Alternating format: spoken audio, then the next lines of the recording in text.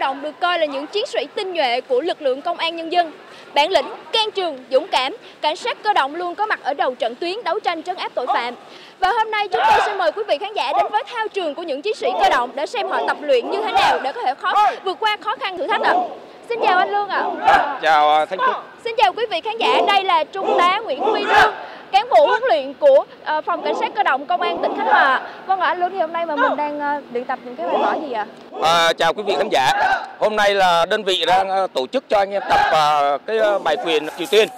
Dạ vâng ạ, thưa anh thì là cái bài võ Triều Tiên là như thế nào? Anh có thể giới thiệu sơ qua về cái nội dung của bài võ này và cái cái cái cái đối với bài võ này thì mình cái thời gian luyện luyện rèn luyện có lâu không ạ? Cái môn võ Triều Tiên này nó là cái một đặc trưng riêng của lực lượng cảnh sát cơ động. Dạ. Là bài võ này thì nó thiên về thể lực. Đó, nó thiên về thể lực. Nên đơn vị và là đưa vào để cho cán bộ chiến sĩ rèn thể lực là chính và hai nó rất ứng dụng trong thực chiến à, nó đơn giản nhưng mà nó hiệu quả cái thời gian mà mình rèn luyện cái môn võ triều tiên này thì chỉ sẽ diễn ra một tuần hay là mình sẽ có cái thời gian cố định để lồng ghép vào trong những cái bài tập uh, huấn luyện khác ạ cái uh, riêng uh, đối với lực lượng cảnh sát cơ động á, thì uh, công tác huấn luyện rèn luyện thể lực đó là thường xuyên liên tục trong 365 ngày.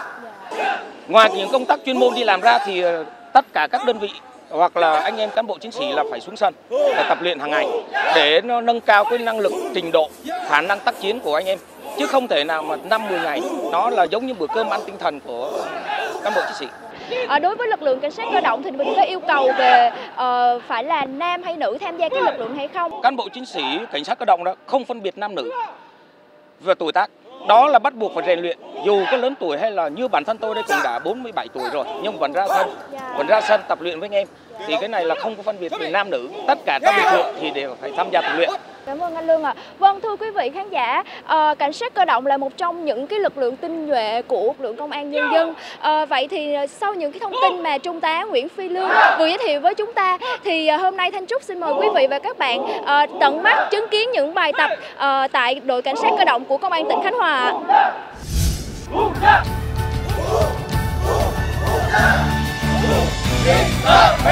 Sau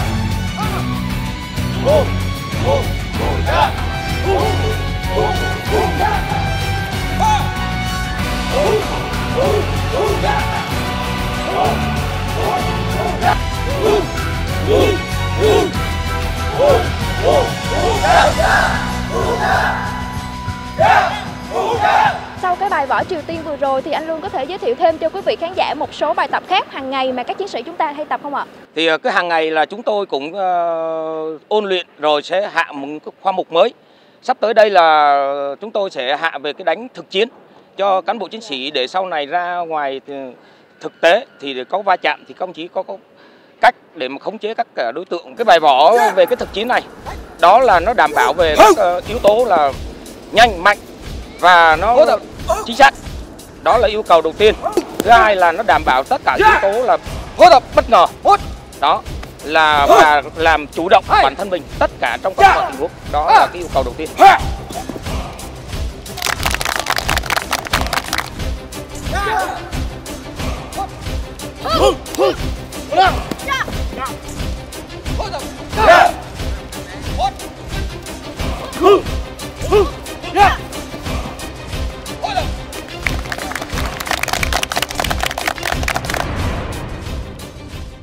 Thực chiến vừa rồi thì bây giờ thì ờ, chúng ta sẽ chuyển sang một bài tập mới. Thưa Trung tá Lương thì bây giờ thì các chiến sĩ đang tập bài tập gì vậy ạ?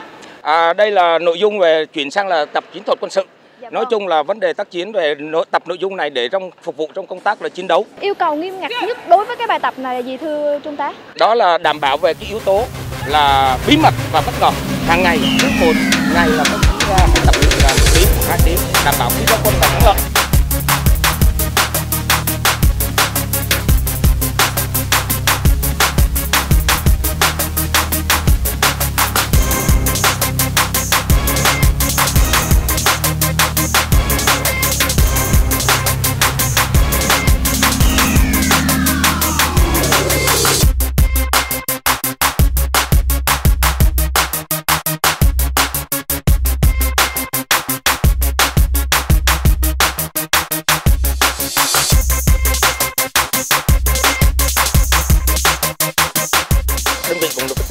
đa những cái thao trường hiện có của công tỉnh thì để đưa anh em tập trung vào cho nó hơi sát một thực tế một chút.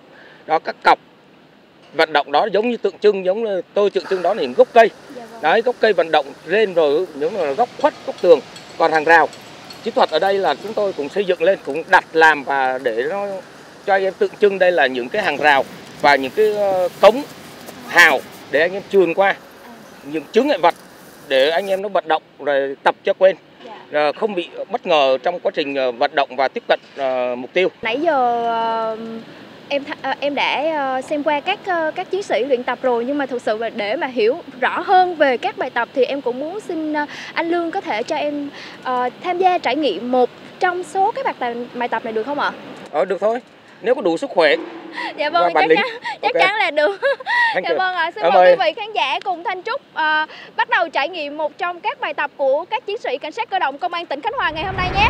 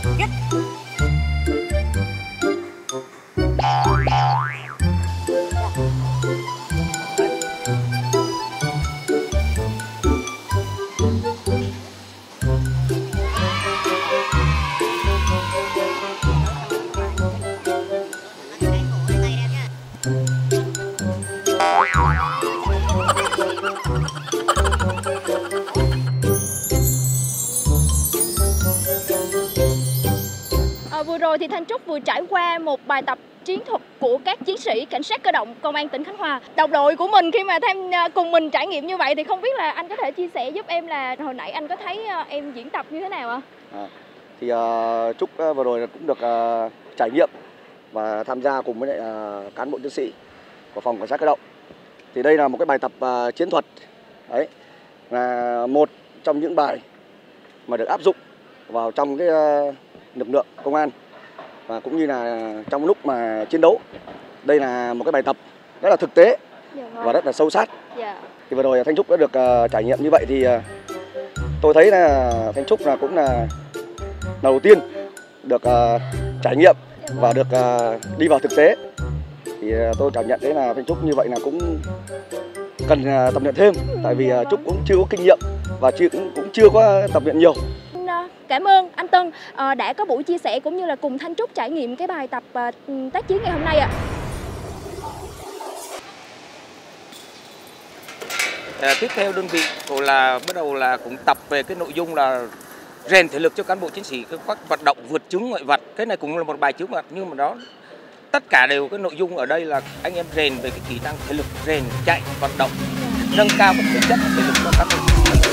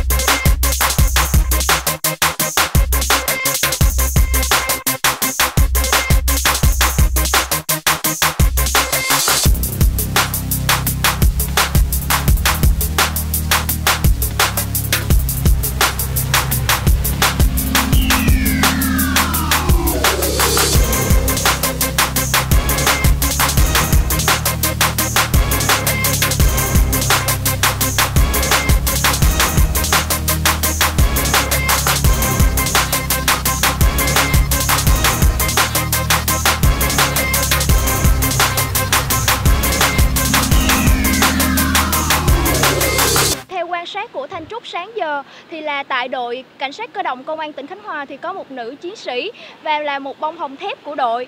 Thì ờ, xin mời quý vị và khán giả cùng Thanh Trúc uh, giao lưu với bạn chiến sĩ này nhé. À, chào Thúy ạ, à. thì là được biết là Thúy tham gia đội cảnh sát cơ động được 3 năm. À, Thúy có thể chia sẻ cho quý vị khán giả biết được rằng là tại sao Thúy lại lựa chọn lực lượng cảnh sát cơ động mà không lựa chọn một cái lực lượng khác nhẹ nhàng hơn được không ạ?